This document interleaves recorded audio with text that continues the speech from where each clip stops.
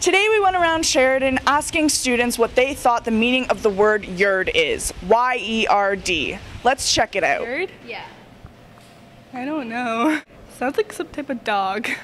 Um, I know a yurt is one of those round tents. Maybe it's a bad pronunciation of yard. It just means to be poked by a stick. Oh.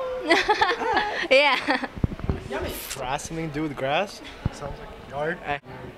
Type of unit. It means to be poked by a stick, that's all. It means to be poked by a stick. yeah. Okay. No idea what it means. It sounds Gaelic though. Plant. Is plant? It a plant? I'm picturing something to do with a boat, like a light jog. To hit or poke with a stick. Oh, With a stick. Oh. Woo someone. Actually, the meaning of the word is to hit or poke someone with a stick. I guess beat up or something. Actually means to hit or poke with a stick. Oh, okay. Is that an English word? Yes, What's it a is. yerd? No, it rhymes with nerds. That's like my first thought. The actual meaning of the word is to hit or poke someone with a stick. Oh, I was doing That's kind of red. like beat him up. it means to poke or hit with a stick. I think it means you fart and then walk.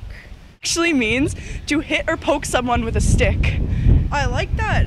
I've just been I've been being completely inefficient, just saying I'm gonna poke that dead guy with a stick. Now it can be like I'm yerding this. As you can see, there are many different answers to our question. We hope we expanded your vocabulary today.